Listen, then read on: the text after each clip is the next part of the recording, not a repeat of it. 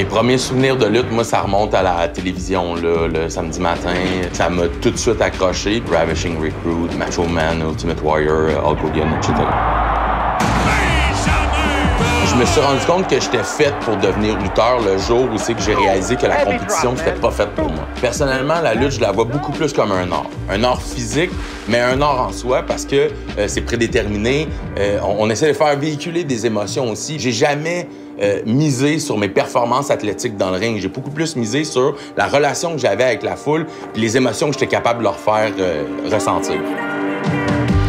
En général, quand tu essaies de te retrouver dans ton personnage, tu dois vraiment prendre des traits de personnalité que tu as les amplifier fois mille.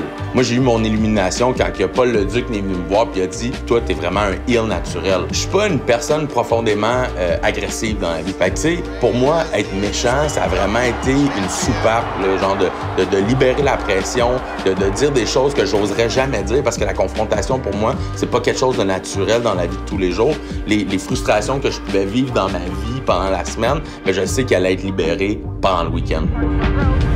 Les gens ont compris que la lutte veut, veut pas, ça reste dans l'ADN québécois. J'ai l'impression que je dois continuer à le vivre pour le moment pour être sûr d'être capable de profiter de l'engouement que j'attends depuis autant d'années.